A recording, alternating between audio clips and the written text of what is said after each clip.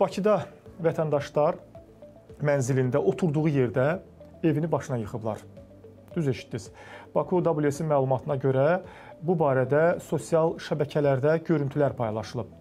Bəli, bax bura Bakının Yasamal rayonu 1-ci Alatava qəsəbəsi 128B ünvanıdır. Videoda səsli olanda belə başa düşmək olur ki, ailədən olan qız uşaqları qəfil evlərinin söküldüyünü görüb təcili atalarına zəng etməyə çalışırlar, amma bax o traktorçu elə öz işindədir.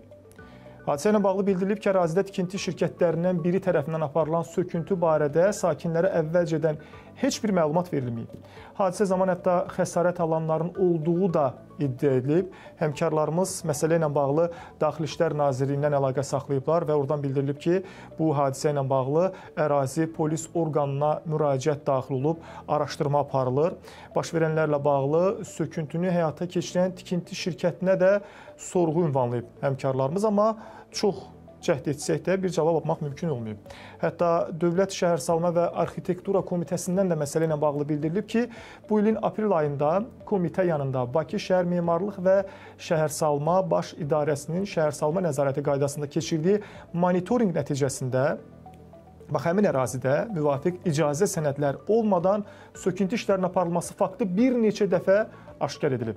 Özbaşına fəaliyyətin dayandırılması istiqamətində lazımi tədbirlərin görülməsi üçün də aidiyyəti icra hakimiyyəti orqanlarına rəsmi sorğular göndərilib və Bakı şəhər memarlıq və şəhərsalma baş idarəsində gördüyü operativ tədbirlər nəticəsində özbaşına söküntü işləri tamamilə dayandırılıb və ərazi ciddi nəzarətə götürülüb deyə komitədən bildirilib. Ümumiyyətlə bilmirəm, bax bu materiala baxanda, bax bu görüntülərə baxanda bilmirəm hansı şərhi verəsən.